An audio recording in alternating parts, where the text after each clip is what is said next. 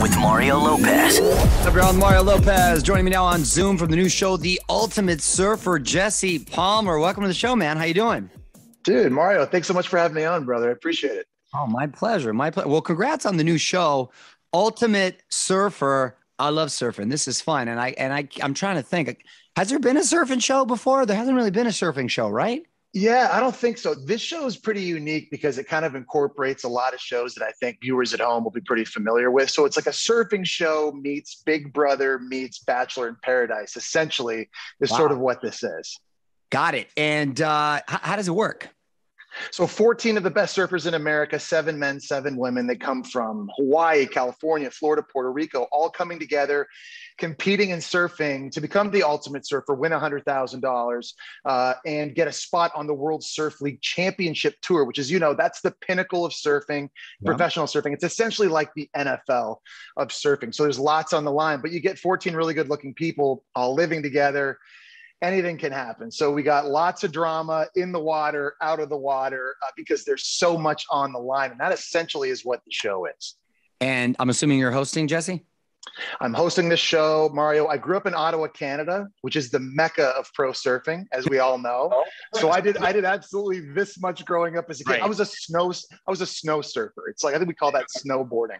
Right. But it's funny, man. Like since I played football with the Gators and then the New York Giants, I've ordered, I've always kind of been a, a fan of surfing from a distance. And Kelly Slater is a name to me. That was a guy that I sort of looked at, I admired. He's like the Michael Jordan of professional surfing. He's won 11 world championships. He's totally transcended the sport. So when I found out that he was a part of this and we were going to be filming this show at his surf ranch in California, I just knew this was something that I absolutely had to be a part of. Oh, I'm excited to hear that he's a part of it. I didn't want to ask, and I was going to be disappointed if he wasn't because I would venture to say, because I do love surfing and being a Southern California kid, I would actually say not only is Kelly one of the best surfers of all time, definitely the best, but just all around best athletes.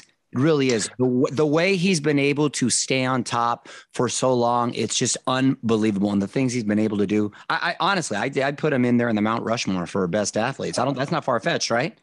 No, I think you're absolutely right. And I think the thing what's really cool about Kelly, when you get to kind of know him and, and, you're around him, you see he's got this crazy laser focus and mm-hmm. mental toughness that so many of the great athletes have, right? Like I think like my childhood growing up and people, you know, being Canadian, Wayne Gretzky and then Michael Jordan, we mentioned Tom Brady today, they all sort of have that too, that it factor. Mm-hmm. That's something Kelly has, which is why I think he's a big reason why he's been so successful for so many years now in his sport. Exactly. And um, as opposed to those guys too. I always think individual sports, right? Because there's so many factors that go in, as you know, to team sports. But as an individual sport and to stay on top for so long, incredibly impressive. So that's cool that he's involved. Serious credibility right there. Uh, where'd you find the other surfers, as opposed to, or not as opposed, I should say, aside from America? Where are the best ones come from?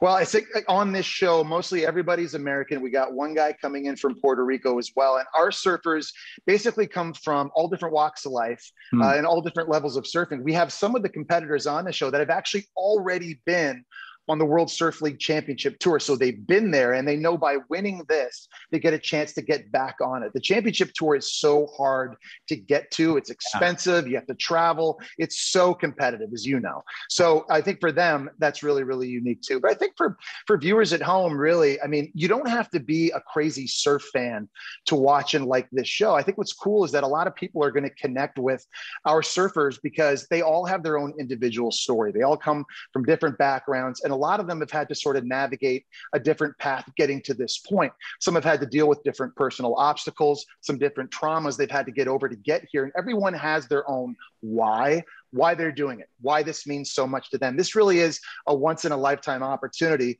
for our seven men and seven women. And there's so much on the line. And I think those personal stories and connections, I think, will really uh, resonate with a lot of people at home.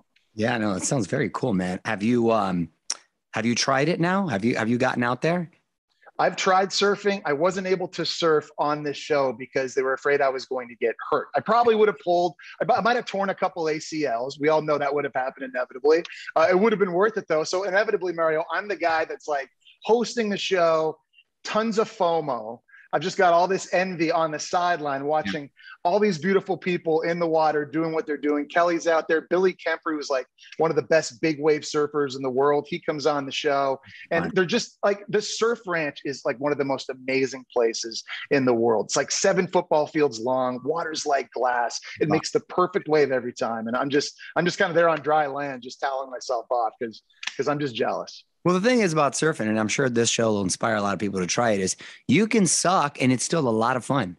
That's it. Yeah, exactly. You know what I mean? You don't even have to. I'm over there with the big board. And I'm still having a good time. You know, just being out in the sun and with the water and everything. It's it's fantastic. Uh, Jesse, I want to talk a little football. Um, nice. season. How, how do you uh, how do you feel about my Chargers? Do you do you think they have a really legitimate shot this year? So I, I love the Chargers. I love your quarterback. You've got Justin Herbert, the rookie of the year, and he's, I think, going to be your guy for years and years and years.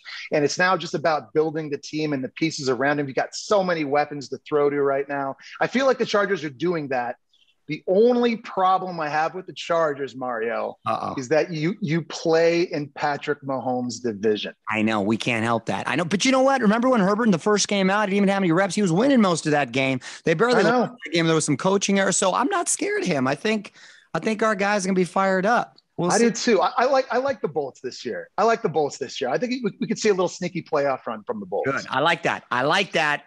I like that right there. Um, you got engaged a little while back, huh? I got yes, I was engaged a few years ago. We were supposed to get married in France last summer. My uh, she's Brazilian, so we couldn't do it obviously with COVID. We were supposed to do it again this past summer. Had to cancel that again because couldn't get her family there, and I, I, have my friends in Canada couldn't get there.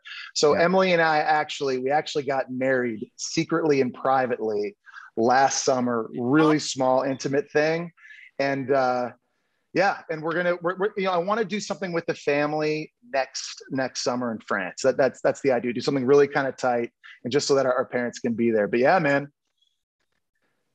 Married life. There you go. I'm, I'm, I'm just wearing it. You're in it. You're in it. i'm in it. I know. You. Well congratulations uh, on the marriage. Congratulations on the show. The ultimate surfer is the name of it. Be sure to check it out mondays and tuesdays on abc jesse thanks for checking in man Thanks so much, brother. We'll see you. On with Mario Lopez.